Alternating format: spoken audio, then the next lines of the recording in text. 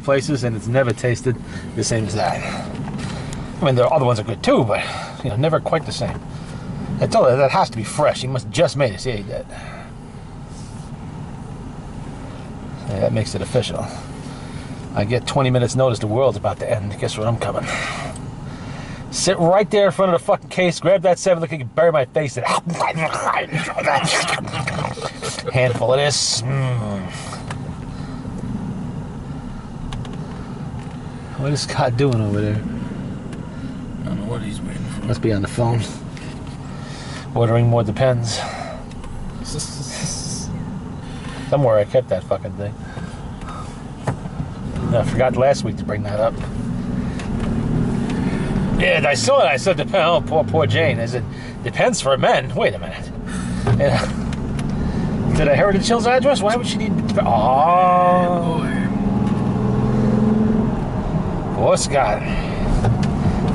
The frailties of age.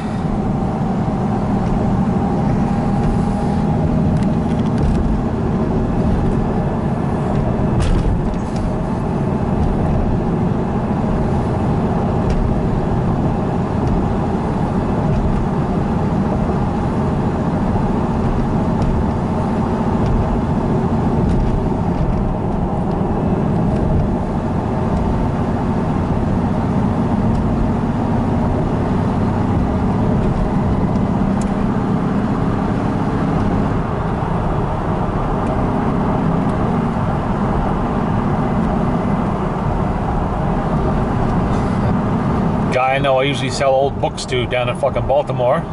I said, I'm gonna have some more old books. How many you want? Oh, oh man, yeah, don't know. I'll take them all. I said, you sure? Yeah, I got a guy coming up that way going to his parents, visit his parents, end of the month. Okay. So far, there's seven full milk crates. Oh man, you really had a lot of books. I said, I ain't done yet. I'm still clearing out a few places. There's lots and lots of books in there. That- That's not including the ones I threw. Wow, there's a lot of fucking cows there. That's a pretty big fucking herd. Yeah, hamburger on the hoof. Get some pretty nice fresh meat there. Yeah, steak. Here, Cowie, Cowie, Grass come on over too. here. Come on. Come a little closer.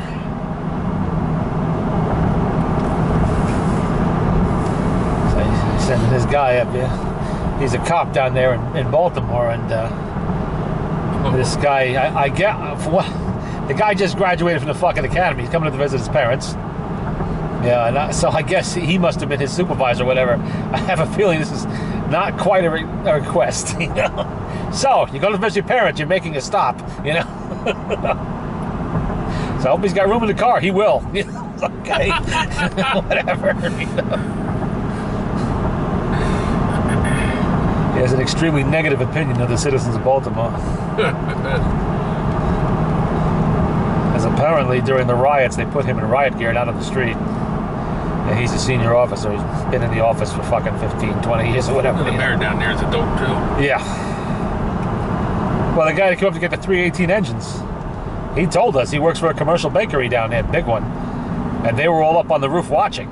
They didn't get into the bakery, but they looted a sporting goods store right down the street from him. So the next day, all the bums in the neighborhood were all walking around with, you know, designer sports gear and shit and camping stuff and everything else. And they looted it and then they burnt it.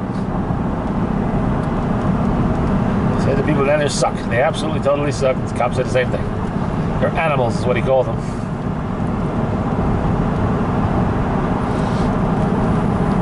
So, well, you would know.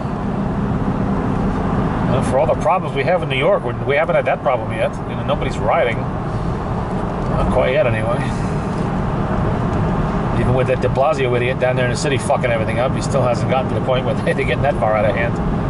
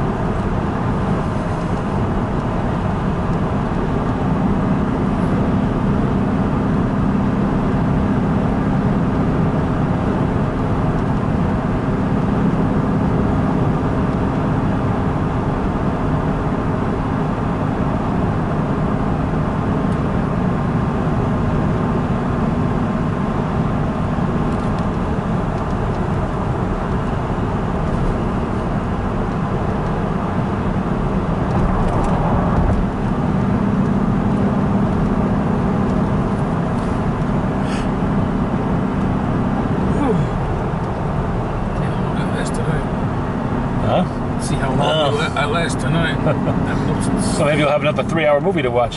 six. No, I, I, for some reason they didn't send me what I wanted. The Mad Max movie. They sent me something else. What they send you? I don't know. Probably didn't have enough copies to go around. I forget. I should have it today, actually. For some reason, the fucking mail is very slow. I mailed it on Tuesday. I don't think they got it till Thursday.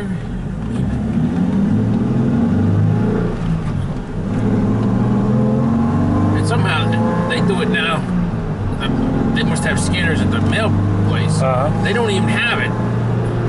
They don't even say, you know, oh, we received it. Uh-huh. Oh, we've gotten word from the post office that you sent one back. so we're going to send you another one. And then the next day I'll get the, the oh, we received your. Uh, It usually took, I think, about uh, one and a half, two days, something like that, for when, when I would send them out. it used to be one for me. If I mailed it out on Monday, Tuesday morning, I'd have an email. Six in the morning, we got your, we got your movie. Now, maybe Wednesday. Wednesday, I'll get the email saying, "Oh, we got notified that they sent it back. They didn't even get it yet." Uh-huh. I don't know why they just don't stream at all at this point. Uh, The fucking movie companies, they fight it all. All. It's a losing fight. That's the way everything's going. Yeah. As the technology improves and it becomes faster and faster and faster, and you know the equipment cheaper, everybody really can afford it. You know, so. I mean, I wouldn't have deep DVDs at all if they put it all on streaming. Mm-hmm. I can't remember the last time I actually watched a DVD. I have a thousand DVDs. I don't think I've watched a single one in fucking months. I barely have time to watch the, The shit only that ones I streams. watch are the, you know, the ones we get for the movies. Yeah, That's it. I don't have enough time between YouTube and Netflix and everything else. Netflix streaming, I don't have fucking time to watch shit once in a while. Right now, I'm watching Longmire. Apparently, that's a Netflix fucking uh, series now. I guess they must have got canceled on whatever station it was on. They, they picked it up, which is good because it is a good fucking series.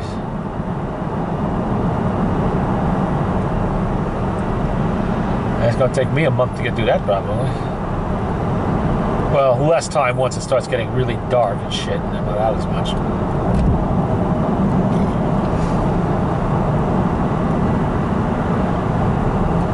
I used to be really up on movies, but now at my house, I just don't have time to. No, I used to be able to Saturday mornings or something. Sunday mornings, I gotta watch two, three movies. Now, now I gotta clean, I gotta cut the grass, I gotta do uh-huh. I gotta do that. Like today, I got up at six in the morning. I left by eight. I came home for half an hour. I left again, and I, that's it. That's Yeah. all. I haven't done anything in my house today. No. between you know working on the Victrolas, I sell on eBay, everything else, and eBay, the, the, the two different fucking accounts and shit. It takes a lot of my fucking time. I haven't even cut my grass in three weeks. I think I might try Most to. of that thanks to the no rain. If it's not right, yeah, it's- I'd same thing with Mason's lawn. I've only cut it. I cut the last time I cut it was July. It's starting to get a little shaggy now in the front, so I'm probably gonna cut it tomorrow if it's not pouring fucking rain.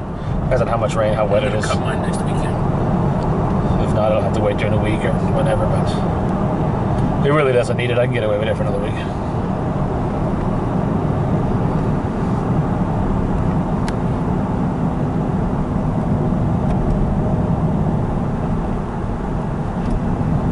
This is the first weekend in a while I'm- don't have somebody coming up Sunday to get something. Last week, the guy was buying a back bumper off that Cadillac, some other shit the week before. I sold him 15 Cadillac drive shafts I had in the fucking shed. I thought that would be hard as hell to fucking get rid of. And no, he bought them all. So, thank God. I saved all those fucking drive shafts off of lots of Cadillacs that I junked. And I never ever had a problem with a Cadillac drive shaft. So they just sat there. In the fucking way. And while he was there, I unloaded a bunch of other shit on him said, anything you see in there that's Cadillac, Help yourself. Make it, we'll make a package deal. I don't have any fucking Cadillacs anymore. It's highly unlikely I ever will, so take it all. Because he's got three 1970 Cadillacs. He's going on and on about them. I wasn't going to say nothing. You know, I said I had, I told him I had a lot of caddies in the 70s. Almost every single year in the 70s, I, I had at least one Cadillac in a year. What they did best was break down all the fucking time. they were beautiful, comfortable cars, but you couldn't stop them from rusting. It was just fucking impossible, and something was always breaking. You know, that engine is so fucking powerful, it would destroy every one of its accessories. It would destroy, eventually, it destroy its transmission too. The car was so fucking heavy, it killed the steering boxes. So I was replacing all that shit in every fucking Cadillac I had, except the late 70s ones. They were more like Caprices, you know, they weren't that bad. But 71, 2, 3, forget it. I think I did three steering boxes on those cars. Even the damn rear ends would occasionally blow, although I never blew one, but I know we used to sell them quite often. All that torque would just eat them right the fuck up.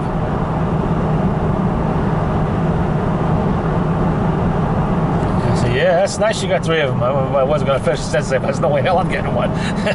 Fuck you. I got enough shit to do. I don't want to spend my fucking free time under a goddamn car anymore. I got my Model A, my Model T. You know what? They rarely give me a fucking problem of any kind.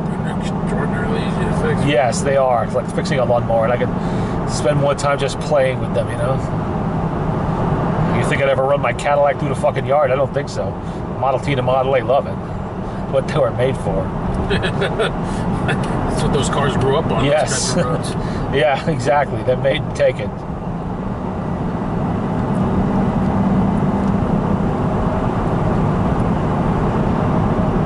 Told the old man I'm gonna take the fucking loader down below to that area I just cleaned out and cut a road around the entire perimeter of it. And just use it to run the Model T around and around and around. Your own little racetrack. yeah. My own little Model T track. Exactly.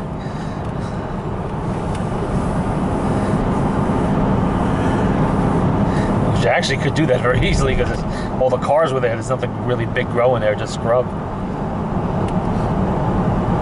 I tell you what, I moved a fucking gas tank the other day. There must have been 10 fucking snakes under there. Really? Yeah. Uh, most of them were gar- regular garter snakes, small, medium, and large. There was one copperhead curled up way in a corner. I'm not sure why it was with the garter snakes, but it was. Must have been a cluster of bugs there or something they were going after. And it was a huge snake skin. It was something really big.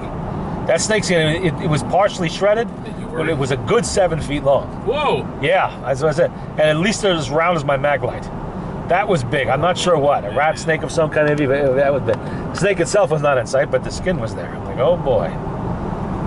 But that's that is snake country. I mean, you know, you Those want rocks. yeah, you want to look for snakes. That's an ideal place. I always find snakes down there. Yeah, a lot of little garter snakes. I caught two of them. I relocated them to the barn. Keep down on the bug population down there. A lot of frogs. Just, hey, asshole! Fucking schmuck throwing his garbage out the fucking window. Goddamn cocksuckers. A lot of little fucking frogs this year too, all over the place. Even the little peeper frogs that stick to things. I walked out yesterday morning in the fucking early twilight. I didn't see it. I went to reach for the van's door handle, and there's something damp under my my I jerked my hand back like what the fuck? And it didn't even hop away when I did that. And it was a little peeper frog stuck right to the handle. Just sitting there. Like, look at this. So I had to pry him loose. Little suction cup beat. And then it squirted all over the place.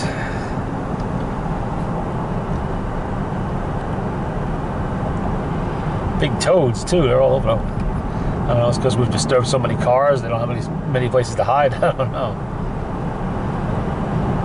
But the snakes, I keep like I told the kids. The kids are laid off this week. Really? Uh, yeah, the old man's running low on money, and it's just not that much to do at the moment until I get the tires on the machine squared away and other shit. Plus, Sheldon had some things he had to do. He had a lot of side jobs piling up, so he wanted to get them done. They had to go upstate, something with his fucking kids and the ex. He's fighting for fucking custody battle over something. I don't know. Some kind of a problem.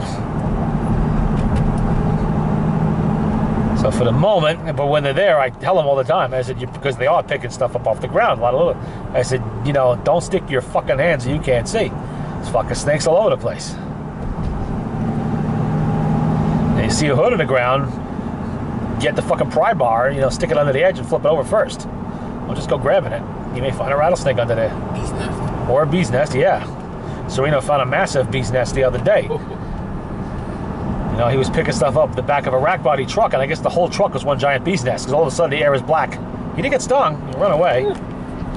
And then I went to move another rack body, littler one that was in there, way in the corner that lot. It's the last car in there, literally the last one.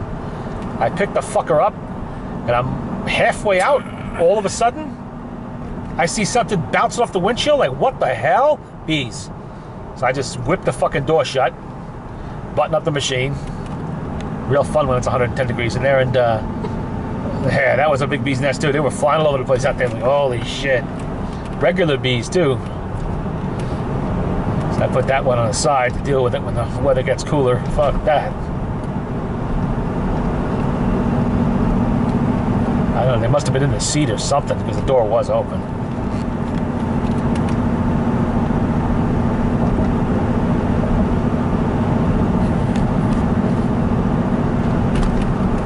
I almost fucked myself up yesterday too. I'm using the smaller machine. Thank God I was. I, I went in there to scoop up a fucking plow blade way in the fucking corner. And it was only as I'm scooping up the plow blade that I realized I was on top of the cement cover of that God knows what kind of sub basement in there. Thank God. If I'd had my machine, I probably would have gone through it because I have no idea how secure that is anymore. After a hundred fucking years of deterioration. It supported the weight of the old man's machine in the past. That was 25 years ago. But it still did this time too. Just luck. I'm on top of it. I'm scooping up. Said, "Oh fuck me!" Boom! Shove that thing in fucking reverse. Get the fuck off of that. Fortunately, the blade came with me. So all I need to hear is crack, and all of a sudden the machine tips then into the bottomless chasm there, whatever it is. The divers are supposed to explore that when they get some time.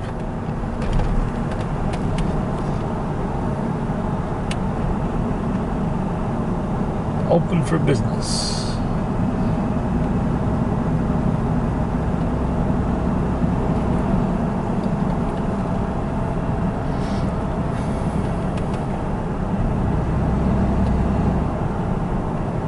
Hmm. Tiny house for rent.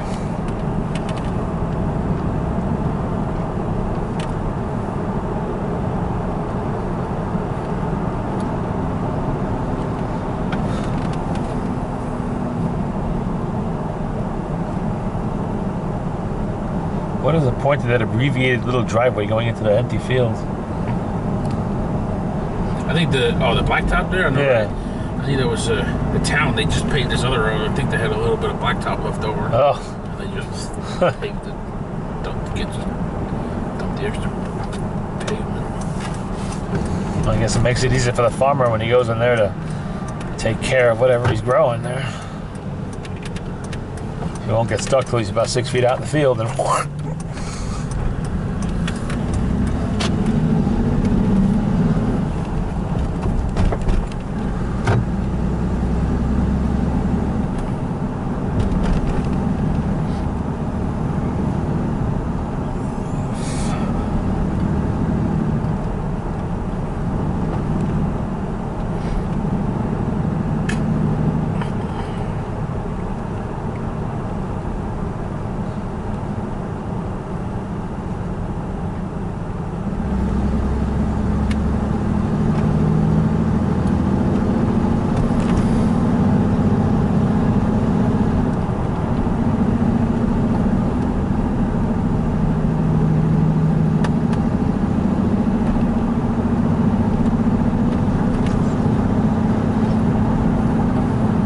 Sucks. Days are getting shorter.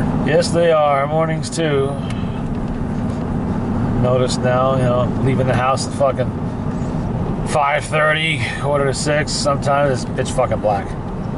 Well, lately I've been going down to the barn sorting out those fucking books. I'm trying to get there early. Beat the heat. Uh-huh. What happened? What? Uh-oh. Hmm. What went wrong? Looks like he's just wiring up there. Yeah. Yeah, look at his tire tracks.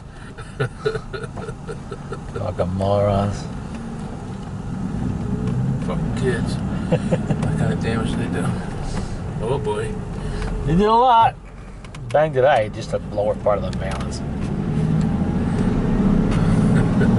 Have we been drinking this weekend? I guess they really burned it. Just missed that one. Yeah, I guess so. They were probably racing up the fucking hill. Asshole didn't know there was a curve up there.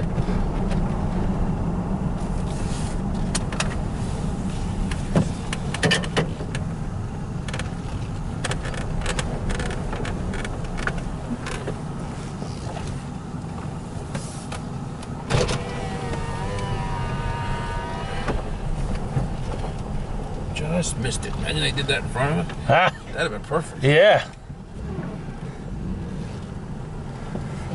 Video for sale. What? Oh, there it is. DVD.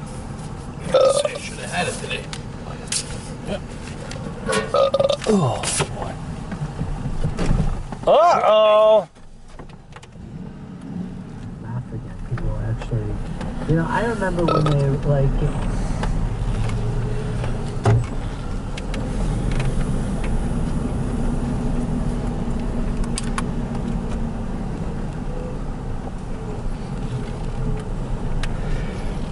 Will he make it? Will he make it? Crunch.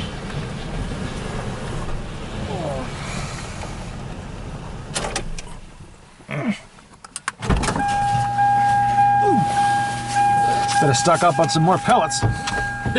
Say we're supposed to have a really bad winter again. As bad as it was last year, as cold as it was, I didn't burn everything I had. I mean, I had a few bags, Yeah, I remember. that much. That thing, I didn't shut, I didn't shut that wood pump stove off from whatever it was, November until fucking March. Yeah. April. Well, I have a surplus of oil this year. Hopefully the stove don't shit the bed. And right now, oil's cheap. Oil's almost the price of what I moved in here. Yeah. I just saw serve oil, had a dollar eighty-nine. I was thinking it was a dollar eighty-seven when I moved You in. tank up? Uh, not right now. Soon.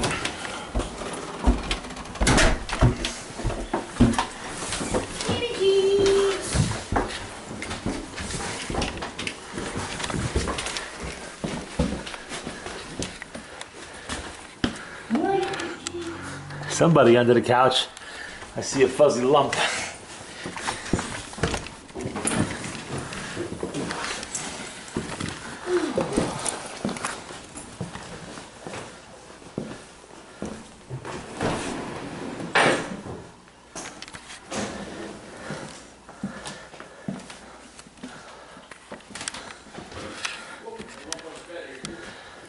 One here too.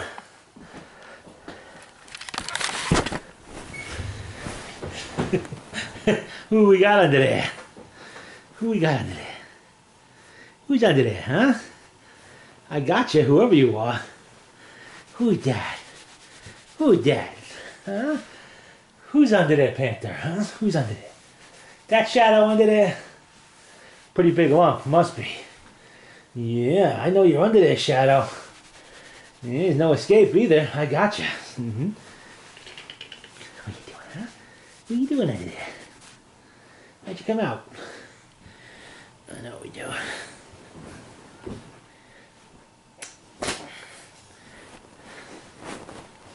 Hey, buddy. I see you now. Just eyes. The camera to pick them up. Oh, yeah.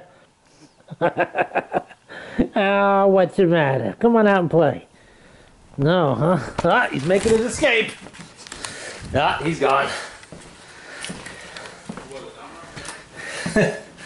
Shadow, I guess, is the biggest lump on under there had to be him. Especially since Panther's standing right there on the bed. This was under the couch this morning when I was looking for Karma.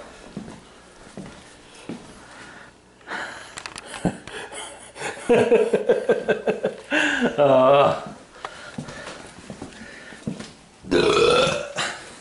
Panther buddy. I ignored you. Yeah. There he goes. What's up, huh? What's up, Panther? Huh? Huh, buddy? Oh, am I disturbing you? Yeah. Hey, buddy. What's up? Huh? Okay, I'll leave you alone. Were you sleeping? Oh. You were sleeping. Okay. Ooh. Panther goes. There's still somebody in air. I don't know who it might be Karma then.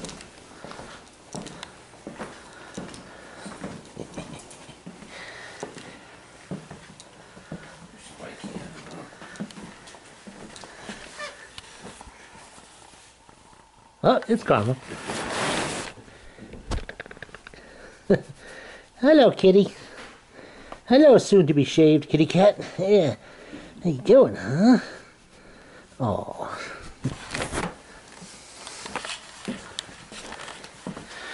All right.